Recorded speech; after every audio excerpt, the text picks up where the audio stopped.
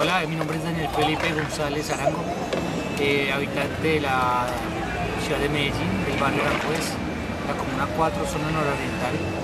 Eh, soy skater, eh, trabajo hace unos 10 años aproximadamente en lo que es la gestión y el desarrollo deportivo del skate acá en nuestra zona, en nuestra ciudad. Practico el skateboard desde unos 20 años aproximadamente y es lo que mi vida me apasiona y siempre se mueve pues alrededor del skate, todo alrededor del skateboard.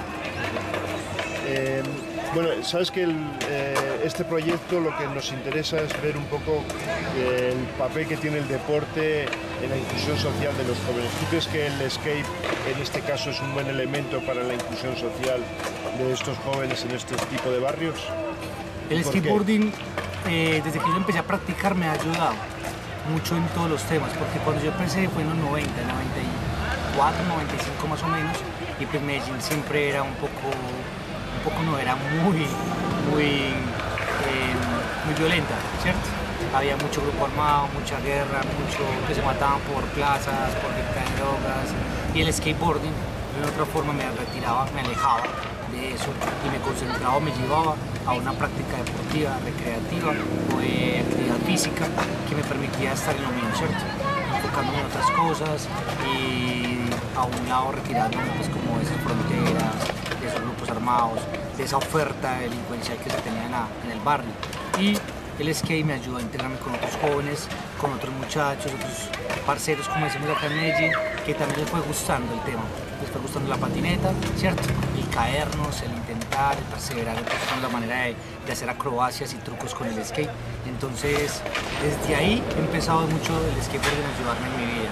Y creo que eso lo podemos estar compartiendo y llevándose a las nuevas generaciones, ¿cierto? Y facilitándoles también a esas generaciones la práctica facilitando como, como el escenario, por ejemplo, que nosotros no teníamos, que nosotros no contábamos con escenarios, entonces la práctica era muy callejera y teníamos ciertos riesgos de la calle, en las vías, en los andenes, ¿cierto?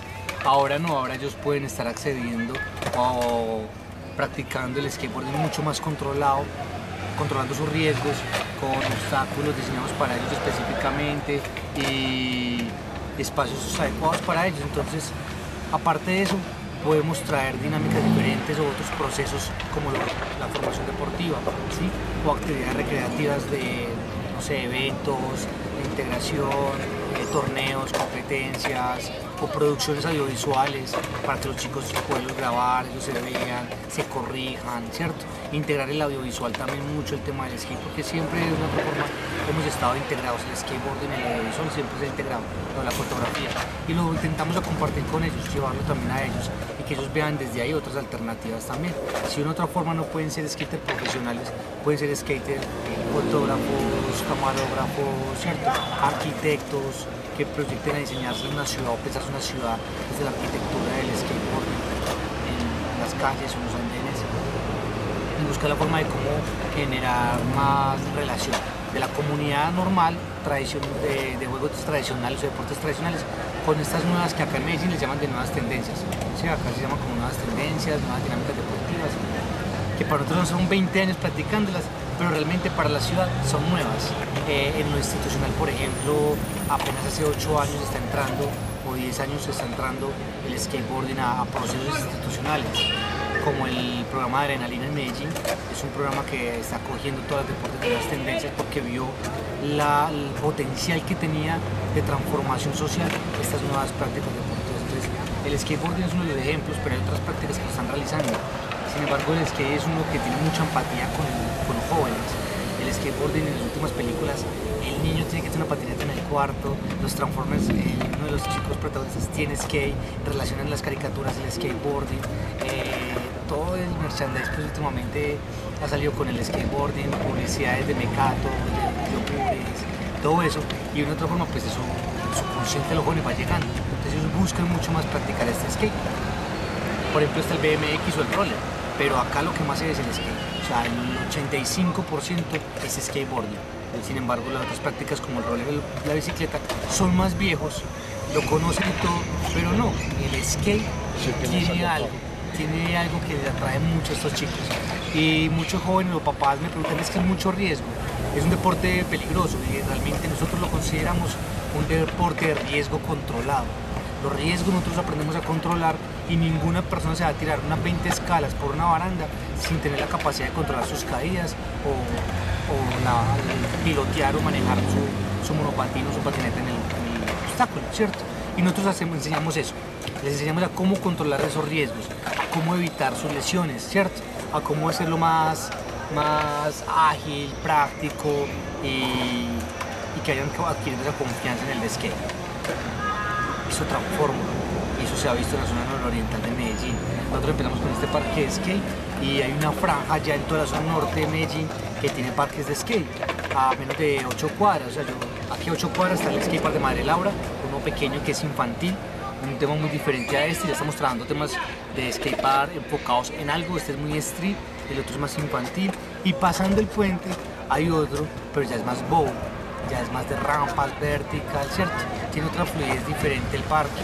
Y subiendo otras 8 o 10 cuadras está otro que es el Reneguita.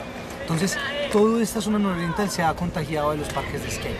Han visto la necesidad de generar este, estos nuevos espacios para los jóvenes. Eh, y en todos se mantienen jóvenes, o sea, todos son llenos. Si no están los skaters, llega algún biker, algún roller, ¿cierto? Eh, hasta los de parkour les gusta, porque hay mucho elemento para hacer parkour. entonces, pues eso beneficia mucho a la comunidad. Eh, explícanos algo también de la actividad que hacéis ya más programada ahora con los jóvenes aquí del barrio. ¿En qué consiste? Eh, nosotros como corporación siempre hemos buscado la forma de llenar varios vacíos que ha habido en el aire, en el ambiente, en lo institucional y en lo deportivo acá no nos permitían conformarnos como clubes porque no éramos reconocidos deportivamente. El olimpismo no nos tenía como deporte, ¿cierto? El Comité Olímpico y apenas ahorita en el 2014, 2015 fue, no he fechas, en Brasil dijeron que sí, el deporte del skateboarding será deporte olímpico para Tokio 2020, ¿cierto? Pero nosotros desde el 2008 estamos proyectando nuestros clubes deportivos hemos estado buscando generar dinámicas de formación con el club deportivo, generar actividades de integración de los deportistas, competencias para ellos estarse eh, rankeando, para estarse pues como eh, midiendo, ¿cierto? Y entre ellos compartiendo ese, esos saberes deportivos, esos niveles deportivos. Pero durante todos los años nos ha tocado conformarnos, organizarnos como corporación. Nunca nos había permitido como club por el vacío que había a nivel internacional. Apenas ahorita nos dijeron, sí, pueden hacerlo ya estábamos tan organizados en el proceso que una fuimos a presentar papeles, documentos y la corporación conformó su primer club deportivo. Somos el primer club con reconocimiento del INCA deportivamente que trabaja el skateboard. Es muy duro, está muy difícil porque hay que romper muchos paradigmas, hay que tocar muchas puertas, eh, a los empresarios socializarles demasiado y algo que es muy complejo para nosotros es que cada cuatro años la institucionalidad cambia gobernante cambia de turno, los funcionarios cambian, rotan y nos toca ir de nuevo a socializar todo el proceso. Empezar otra vez desde cero, vea, este es nuestro impacto, esto hacemos nosotros, logramos esto, ta, ta, ta, ta. Y de una otra forma, cada año siempre hay una ruptura, siempre se aleja, se va alejando la institución. O se llena de nuestro conocimiento y luego se va alejando, se va alejando. Y es un trabajo que estamos constantemente, cómo buscamos la forma de que la institución esté con nosotros, que no sea propio, que en nuestros programas, sino que entre la comunidad, la organización o los jóvenes organizados, ¿cierto? Porque estamos organizados jurídicamente, poder hacer un empalme, una relación con la institución y llevar el programa mucho más allá. El LINDER tiene cierto alcance, nosotros tenemos un alcance y si entre los dos nos uniéramos, pues tenemos mucho más alcance, mayor impacto, ¿cierto? Más beneficiados, más organización. Y eso es lo que buscamos cada año. Entonces cada cuatro años pasa lo mismo y nos toca buscar la forma de generar sinergia, de generar, de empalmar toda la dinámica con lo institucional. Ahorita después de 10 años encontramos que el institucional ha cambiado pues drásticamente, ahorita se, nos han, han alejado demasiado de los procesos comunitarios, entonces estamos en ese trabajo ahorita. Con el club deportivo, cómo buscamos la forma de acercarnos al INDER otra vez, cómo logramos que el INDER se, eh, siga fortaleciendo esta práctica eh, y con las escuelas buscar la forma también de, potencializarlas que haya más ¿Y el barrio cómo, cómo, recibe, cómo ha recibido esta iniciativa? ¿no? Porque supongo que es un poco extraña, esto como estabas tú con esta imagen más californiana, de que podía haber problemas. Explícame un poco también. Eh, los problemas los he tenido desde 1994 con el cura del, del barrio, ¿cierto? El cura, el sacerdote, el padre de la iglesia donde nosotros patinábamos. Es lo único que teníamos. Era la iglesia de San Cayetano o la iglesia del Parque Aran, pues, que tenían sus gradas, tenían sus muritos, pues, muy bonito para ellos. Y nosotros nos apropiábamos de ello y abusábamos de eso. Entonces, en ese abuso, pues dañábamos sin querer queriendo realmente la infraestructura. Entonces los padres siempre salían a regañar, ¿cierto? La comunidad alrededor también, pues como que, vengan, eh, había un choque ahí social. Entonces cuando una vez tenemos este espacio, eso se libera, eso se, libra y los chicos ya no están practicando, nosotros ya no practicamos en nosotros de las iglesias, tenemos nuestros espacios. Y aunque vamos a esos lugares a hacer producción audiovisual en algún momento, ya es más esporádico y ya se hace un tema profesional de cámara, de video, ¿cierto? De una marca, de activación, entonces ya los padres tranquilos, no es siempre que estamos ahí, sino que llegamos ya a hacer un trabajo audiovisual por la arquitectura, por el sport que tenemos de la comunidad no choca con nosotros, ya nos reciben, eh, eh, este barrio Aranjuez es una especie de California chiquitico porque todos los chicos montan en patineta, todos saben rodar casi, o sea ya después de 10 años muchos no han practicado el skate, ya no lo practican, pero si ven una patineta, de una se montan, de una ruedan, tienen una alternativa de movilización, por ejemplo.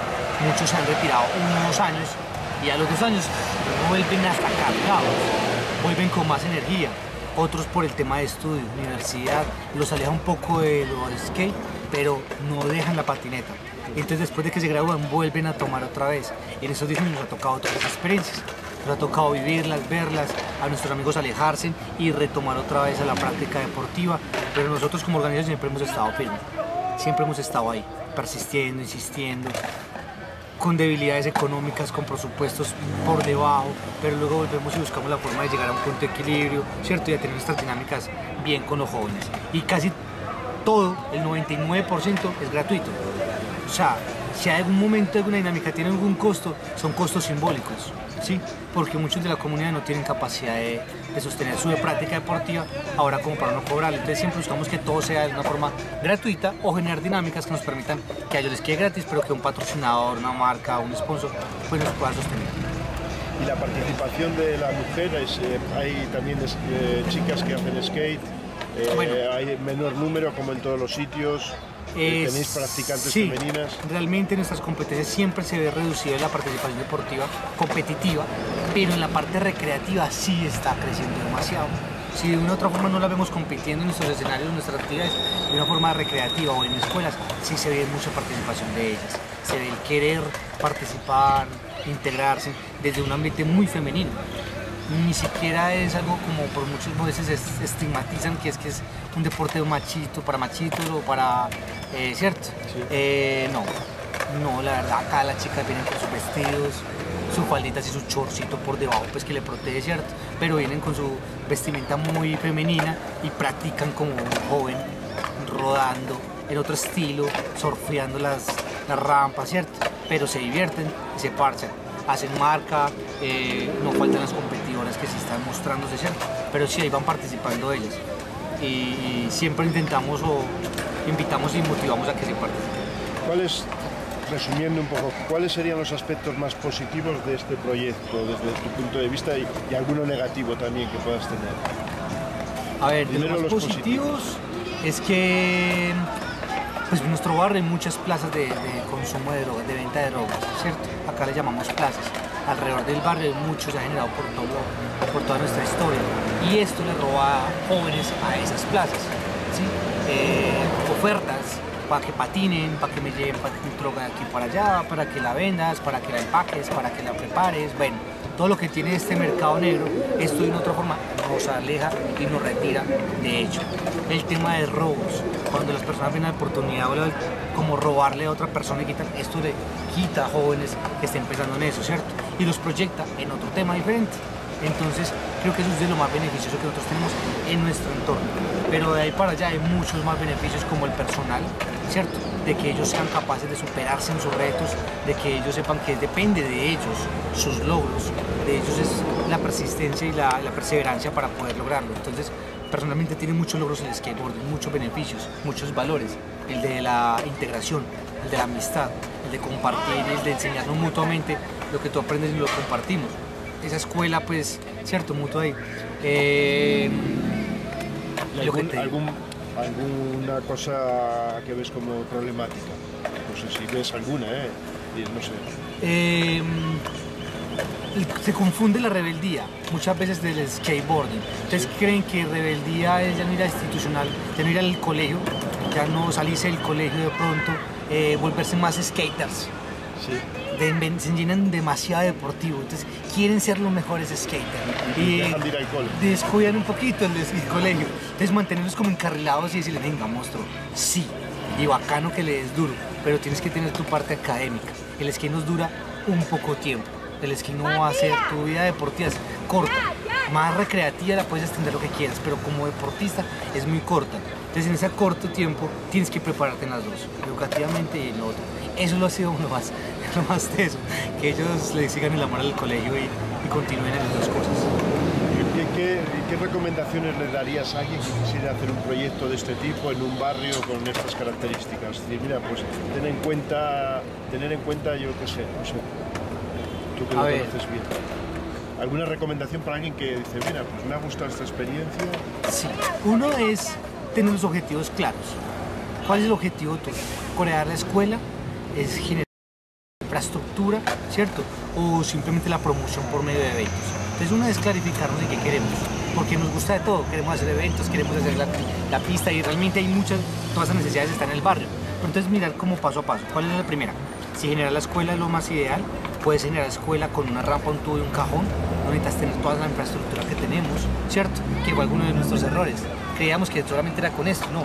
Podíamos haber tenido una cancha de microfútbol en la cual ciertos horarios nos permitiera tener escuela. Sí, eso lo pueden hacer ya. Ese es como el primer paso, empezar a generar la escuela para tener comunidad alrededor.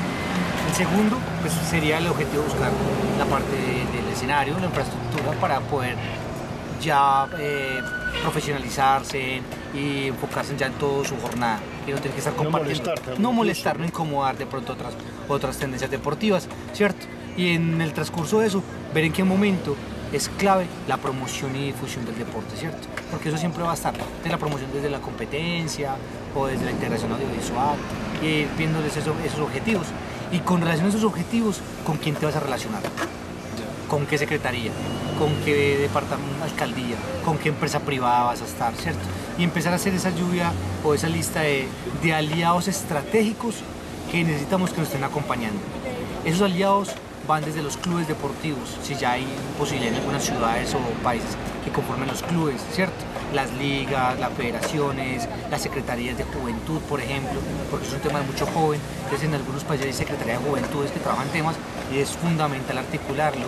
La Secretaría Deportiva, el ente deportivo que trabaja también, que muchas veces están desarticulados, muchas veces traen el deporte por un lado, la juventud por otro, y pues buscamos la forma de que eso haya, pues cierto, una sinergia entre las dos, una articulación, y, es eso, claridad, eh, estructurarse, rayar mucho, eh, buscarlos, no trabajar necesariamente con tus amigos, skaters, no, busca la forma de articularte con personas que sean claves que realmente le aporten al proceso.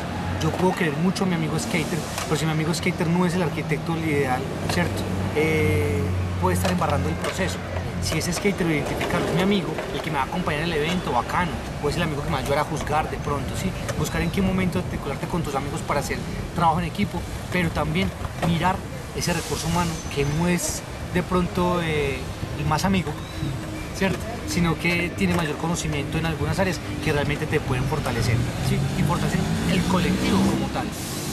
Y genera y evita peleas al futuro, porque si los roles no están claros de pronto, sí, el día de mañana es que tú no me lo dijiste, tal cosa, entonces se cayó el proyecto, llevamos un año estructurando este proyecto, eh, se nos acabó el tiempo, el tiempo de licitación, no tenemos claro quién es el que va a presentar la licitación. Bueno, todo lo que se genera alrededor de una administración y una gestión de esto es, es clave.